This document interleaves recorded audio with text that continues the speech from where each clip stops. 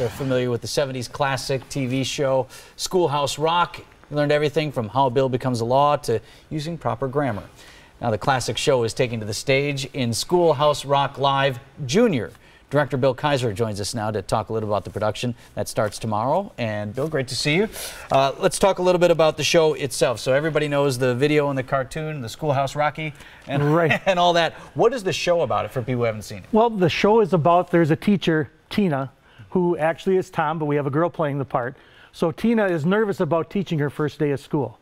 And so she turns on the TV, and of course, Schoolhouse Rock comes on, Schoolhouse Rocky. Okay, right. And, and all the characters come out of the TV at her and tell her all the lessons she learned when she was young that, that this is all she needs to do is teach the kids what she learned from Schoolhouse Rock. That's probably a pretty good lesson. Very good. I know we all grew up with right. that. So this is the junior version, so you have a lot of young performers in this show. Tell us a little do. bit about your cast. Well, we have a cast of 28.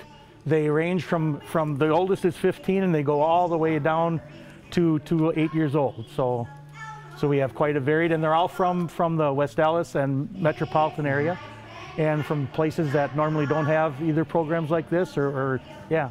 So it's just nice to have such a big turnout. Let's talk about that a little bit and the role that community theater plays, Uh-huh. uh, not just in West Allis, but throughout southeast Wisconsin. You talked about the opportunities for young performers to have access to stage and to, to be able to get out there in front of people. It's important work that you're doing.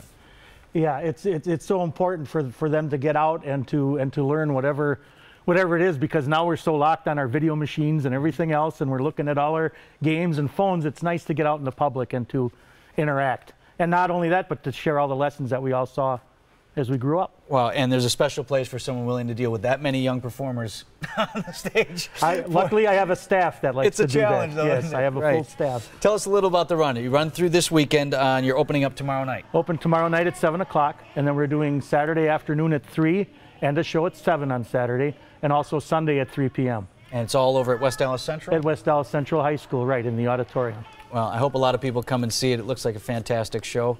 And that and many more. I'm sure you got a lot of, lot of shows lined up. Yes, we do.